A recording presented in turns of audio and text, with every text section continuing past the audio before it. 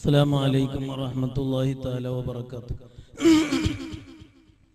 أعوذ بالله من الشيطان الرجيم بسم الله الرحمن الرحيم الحمد لله رب العالمين والصلاة والسلام على سيدنا محمد صلى الله عليه وعلى آله وأصحابه وسلم وعلى آله وصحبه أجمعين أما بعد إن أريد إلا الإصلاح ما استطعت وما توفيقي إلا بالله عليه توكلت وإليه أنيب.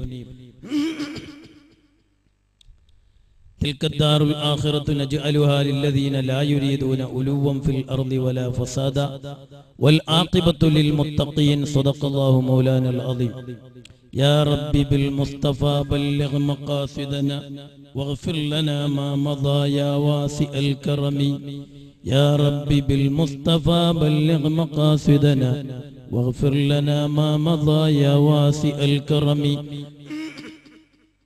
مولاي صل وسلم دائما ابدا على حبيبك خير الخلق كلهم الصلاة والسلام عليك يا سيدي يا رسول الله خذ بيدي قلت هيلتي أدركني يا حبيب الله صلى الله عليه وسلم ആ ബാക്കിലുള്ള ആൾ കുറച്ച് ഫ്രണ്ടിലെ കസാലിൽ വന്നിട്ടിരുന്നെങ്കിൽ അത് നല്ലതെന്ന് തോന്നുന്നു. ബാക്ക് കാലിയായെങ്കിൽ പ്രശ്നമില്ല. ഏതൊരു കാലാകുമ്പോക്ക് എനിക്ക് വിഷയമില്ല. ഇപ്പൊ നമ്മൾ ഇപ്പൊ പ്രസംഗിക്കാൻ വരികയാണ് അബ്ദുൾ റഷീദ് സക്കാഫി കുറേ ദൂരത്ത് നിന്ന് വരുന്ന ആളാണ്. അപ്പൊ അയാൾ വരുമ്പോ വേദിയെല്ലാം നല്ല ഉഷാറാക്കി കൊടുക്കണം. ഫ്രണ്ടിലതാ എതിർക്ക് എതിർക്ക്? പിന്നെയും പയ്യൊക്കെ എന്നെ വീട്ടിലിരിക്കുന്നില്ല നമ്മളെല്ലാം മുന്നക്ക് മുന്നക്ക് പോണ്ടിയാണ് മറുഭാഗത്തിനെ പോലെ അല്ലല്ലേ ധൈര്യമായിട്ട് മുന്നേക്ക് വരും. അതാ കാൽ കസാരയിലിരിക്കും മുന്നേ വന്നിട്ട്. അത് നിങ്ങൾ തന്നെ എനിക്ക് അതാ ചിരിക്കുന്ന ആൾ മുന്നേ വന്നിരുന്ന ബാക്കിലുള്ള മുന്നേക്ക് വന്നിട്ട് സംഘാടകർ ഇത്തരെല്ലാം പൈസ ചെലവാക്കി കുറെ കസാരെല്ലാം കൊണ്ടുവന്നിട്ട് എല്ലാം ബാക്കിൽ പോയിട്ടിരിക്കും. ഒരു പേടിയുള്ള മാതിരി. അള്ളാഹു സുബാനുഭവത്താല നമ്മുടെ സദസ് ബർക്കത്തുള്ള സദസ്സാക്കി തരുമാരാകട്ടെ ഹബീബായ് സല്ലല്ലാഹു അലൈഹി വസല്ലമ തങ്ങളുടെ. എന്നിട്ടും എതിർക്കാലല്ലേ? അവിടെ ഉള്ള ആൾ തന്നെ മുന്നേക്ക് വരികയെന്ന് അപ്പൊ ബാക്കിലുള്ള ആളെല്ലാം ശരിയാക്കും. ആ കാലിൽ ഇടയിലുള്ള കാലെല്ലാം ഫില്ലാക്കി. ഹബീബായ് സല്ലല്ലാഹു അലൈഹി വസല്ലമ തങ്ങളുടെ മദഹുകൾ പറയുന്ന മഹത്തായ സദസ് ബഹുമാനപ്പെട്ട ഷെയ്ഖുന ഫസൂഡ് തങ്ങൾ ഉസ്താദ് അവർ അള്ളാഹു ദറജ ഉയർത്തി കൊടുക്കുമാരാകട്ടെ മഹാനവറുകളുടെയും അനുസ്മരണം നടക്കുന്ന ഈ മഹത്തായ സദസ് അള്ളാഹു നമ്മുടെ നാട്ടിന്റെ ബർക്കത്ത് നൽകുമാരാകട്ടെ. നമ്മുടെ സംഘടനാ സെറ്റപ്പിന് അള്ളാഹു ശക്തി നൽകുമാരാകട്ടെ. ബറക്കത്ത് നൽകുമാരാകട്ടെ. കേരള മുസ്ലിം ജമാഅത്തും സുന്നി യുവജന സംഘവും സുന്നി സ്റ്റുഡൻസ് ഫെഡറേഷൻ സുന്നി ബാലസംഘം ഇങ്ങനെ തുടങ്ങിയ സുന്നത്ത് ജമാഅത്തിന്റെ സംഘടനാ പ്രവർത്തകന്മാർ വളരെ കഠിനാധ്വാനം ചെയ്തുകൊണ്ടാണ് ഈ പരിപാടി ഇവിടെ സംഘടിപ്പിക്കുന്നത്. അള്ളാഹു സുബാനുഭവത്താല എല്ലാവർക്കും തക്കതായ പ്രതിഫലം നൽകുമാരാകട്ടെ നമ്മുടെ ഒരു പ്രവർത്തകൻ ഇന്നലെ ഇന്നലെ ഞാൻ ഇവിടെ ഇതിന്റെ ഒക്കെ പണി നടക്കുമ്പോ മരത്തിൽ നിന്ന് ജാറി താഴെ വീണിട്ട് കുറച്ച് പരിക്ക് പറ്റിയിട്ടുണ്ട്. അള്ളാഹു സുബാനുഭവത്താല പൂർണമായും ഷിഫിയാക്കി കൊടുക്കുമാരാകട്ടെ ബോധം വന്നിട്ടില്ല. പെട്ടെന്ന് അള്ളാഹു ബോധം നൽകുമാരാകട്ടെ അതിൽ ഞമ്മക്ക് ബേജാറൊന്നുമില്ല നാണക്കേടുമില്ല. കാരണം അള്ളാഹുവിന്റെ കലാവ് കൊണ്ടാണ് എല്ലാം നടക്കുന്നത്. നമ്മ ഈ പരിപാടി തീരുമാനിച്ചത് ഒരു മാസം മുമ്പ്. അള്ളാഹു സുബാനുഭവത്താൽ ആ മെരവും ആ ആ സഹോദരനെയും ആ ബീതാനുള്ള കണക്കെല്ലാം പണ്ടേ തീരുമാനിച്ചിട്ടുണ്ട്. നമ്മൾ പരിപാടിയും പണ്ടേ തീരുമാനിച്ചിട്ടുണ്ട്. നമ്മ ഈ പരിപാടി തീരുമാനിച്ചത് കുഞ്ഞാന്ന് മാത്രം. അപ്പൊ അള്ളാഹുവിന്റെ കഥ ആണ് എല്ലാം നടക്കുന്നത്. അതിൽ നമുക്ക് ബേജാറാകാനൊന്നുമില്ല. നമുക്കൊരു ദുഃഖമുണ്ട്. നമ്മൾ പ്രവർത്തകൻ വിഷമത്തിലായല്ലോ. അള്ളാഹു പെട്ടെന്ന് പൂർണമായ ബോധം നൽകി എന്ത് ഉണ്ടെങ്കിലും ഈ സദസ്സിന്റെ ഓർമ്മത്ത് കൊണ്ട് മാറ്റി മാറ്റിക്കൊടുത്തു. ഹബീബായ വസല്ലമ തങ്ങളെ കൊണ്ട് അള്ളാഹു മാറ്റിക്കൊടുത്ത് പെട്ടെന്ന് ഹോസ്പിറ്റലിൽ നിന്ന് ഡിസ്ചാർജ് ചെയ്ത് നമ്മളെ കൂടെ പ്രവർത്തിക്കുന്ന ഒരു അവസ്ഥ അള്ളാഹു ഉണ്ടാക്കി കൊടുക്കുമാരാകട്ടെ ആമീൻ ബോധം വന്നിട്ടുണ്ട് സംസാരിക്കാൻ തുടങ്ങിയിട്ടുണ്ട്.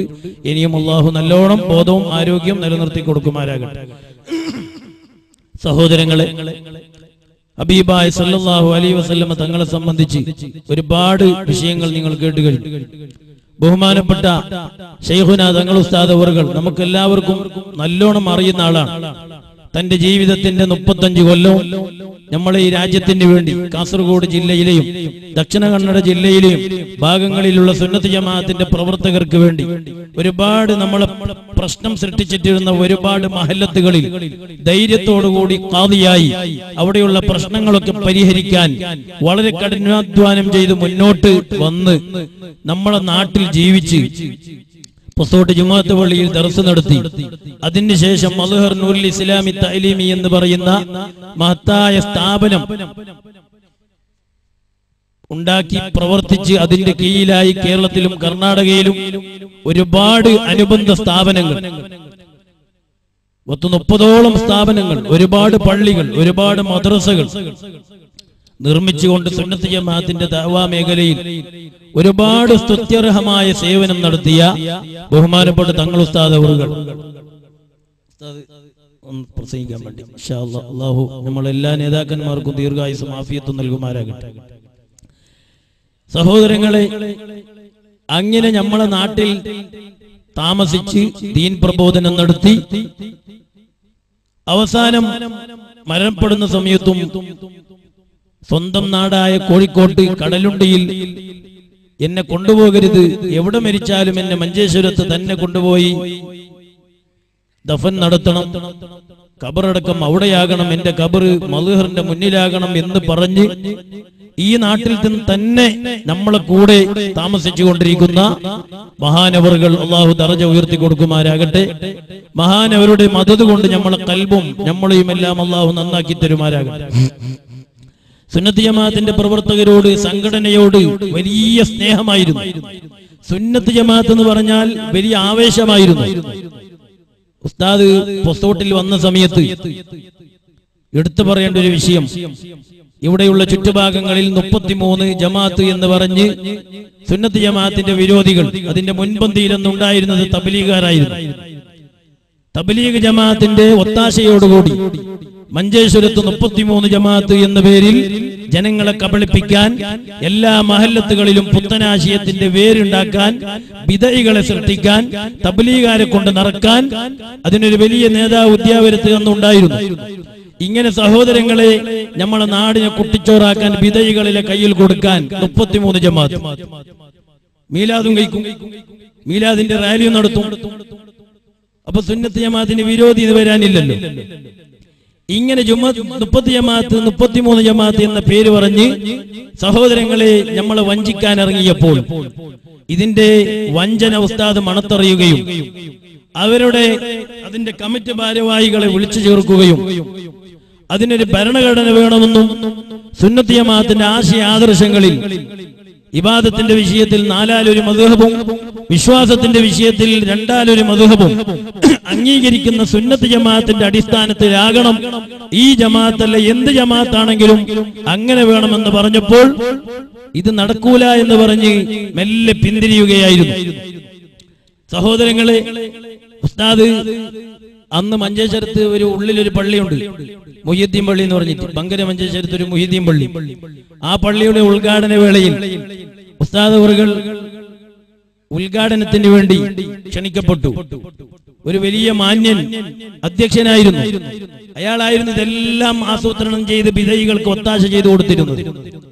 അങ്ങനെ ഉസ്താദ് യോഗം ഉദ്ഘാടനം ചെയ്തുകൊണ്ട് സംസാരിച്ച സുന്നത്ത് ജമാഅത്തിന്റെ ആശയങ്ങൾ വളരെ ശക്തമായ രീതിയിൽ പ്രതിപാദിക്കുകയും ഈ മുപ്പത്തിമൂന്ന് ജമാഅത്ത് അടക്കമുള്ള എല്ലാത്തിനെയും വിമർശിക്കുകയും സുന്നത്ത് ജമാഅത്തിന്റെ അടിസ്ഥാനത്തിലല്ലാതെ ഒന്നും പാടില്ല എന്ന് പറയുകയും വളരെ സമർത്ഥമായ രീതിയിൽ അന്ന് വിഷയം അവതരിപ്പിക്കുകയും ചെയ്ത് അവിടെ ഇരുന്നപ്പോൾ ഈ മാന്യനായ അധ്യക്ഷൻ അടിച്ചിട്ട് പറഞ്ഞു അതൊരു ചെറിയ കുട്ടിയാണ് നമ്മളെ കുടുംബക്കാരനാണ് അറിയാതെ പറഞ്ഞു പോയതാണ്. നിങ്ങളൊന്നും വിഷമിക്കണ്ട.